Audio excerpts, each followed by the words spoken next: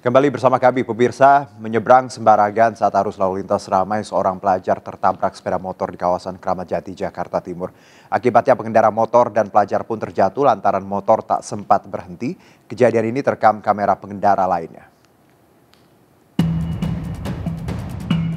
Dari rekaman kamera milik pengendara mobil, nampak seorang anak laki-laki yang merupakan pelajar tengah berjalan kaki di tepi jalan. Tak lama dirinya nekat menyeberang saat arus lalu lintas tengah ramai di Jalan Dewi Sartika Kramat Jati, Jakarta Timur.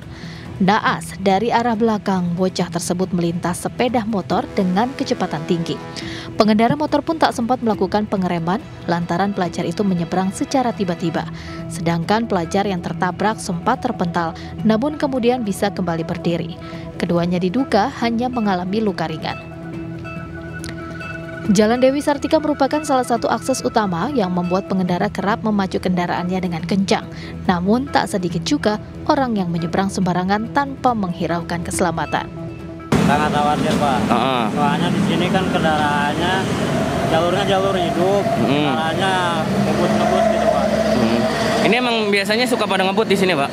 Tuh, Oh, untuk anak sekolah juga ramai kalau pas jam pulang sekolah. nah sekolah ada Pak.